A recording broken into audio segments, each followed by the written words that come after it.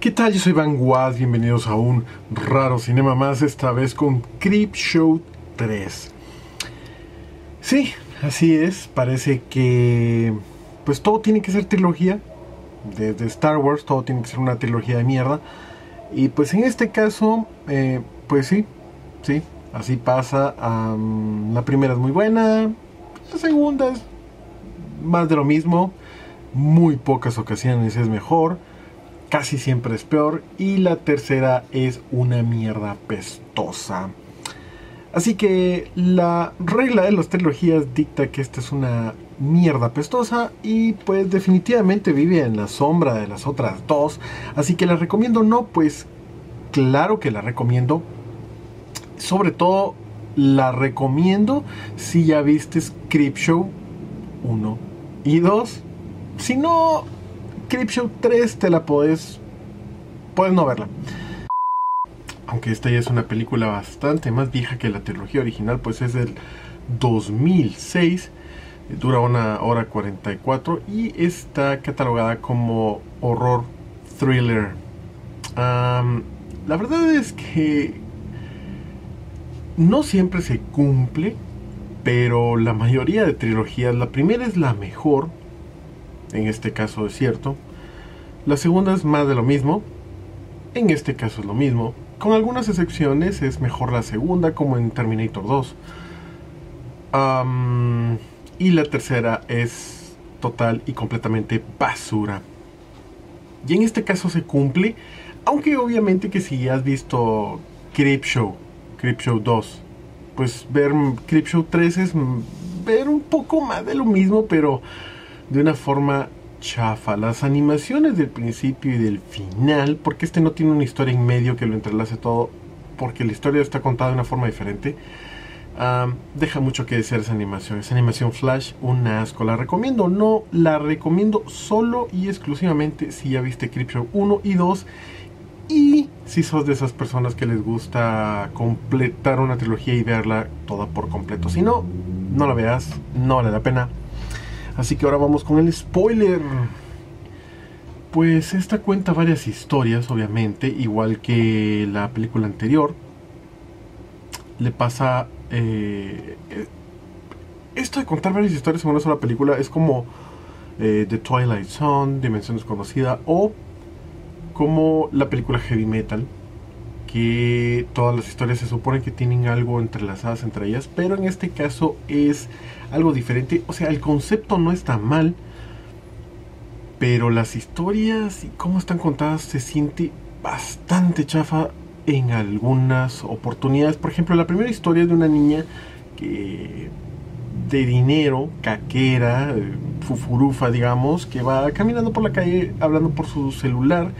En el 2006, pues con celular, hace 10 años, es como, bueno, tenía dinero esa niña, eh, usaba uniforme, eso significa que pues eh, era una niña de dinero, porque en Estados Unidos solo las personas de dinero pagan colegios donde llevan uniformes eh, los niños, así que una adolescente que quería ir al centro comercial llega a su casa, su hermano se burla de ella, la abuela le dice que cuidado, que calma, eh, la mamá no sé qué, el papá está con un control remoto y resulta que el papá cuando activa el control remoto cambia la dimensión y eh, a ella se le deforma la mano, así se le hace un asco, una mierda y sus papás son negros, o sea, toda su familia cambia. Luego eh, vuelve a cambiar el papá negro, cambia de dimensión y se le hace mierda la, man, la, pierna entonces vuelve a su casa y ve que sus papás hablan español latino. Es bien raro, digamos. Entonces empieza bien. Resulta que mm, a este profesor se le perdió su control remoto y estaba buscándolo. Entonces convierte a la niña en un conejito. Ah, la niña se mete a la casa del profesor tratando de buscar ayuda. Eh, un repartidor llega, le da un pastel. La chava esta se empieza a comer el pastel así con la mano y le no, no le importa nada y el profesor la convierte en conejo al final.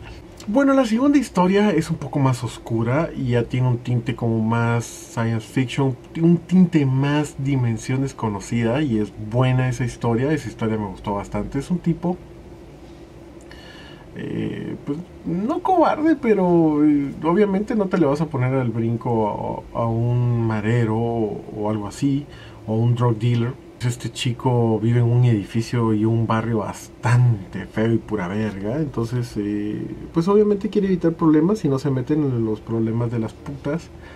Y solo las ve y las saluda y a veces les hacen ojitos porque pues tal vez a alguna de ellas le, le gusta, él está en su casa, eh, se le chinga la televisión, entonces prende el radio, se le chinga el radio, entonces va, sale a la calle a comprar un radio, compra el radio y este radio le tiene voces locas y le dice qué hacer, qué no hacer y lo va guiando por un montón de cosas eh, hasta que al fin le roba un montón de dinero, eh, se fuga con una puta y la puta lo traiciona y lo mata. Ella se quiere quedar con el dinero. Después, pues el pimp de la puta mata a la puta y se quedan con se queda con el dinero y el pimp tenía un radio también de esos que hablaban locamente. Esa historia me gusta eh, luego regresamos a este a este barrio. Eh, bueno el detective de esta historia era el papá original de la niña que convierten en conejo.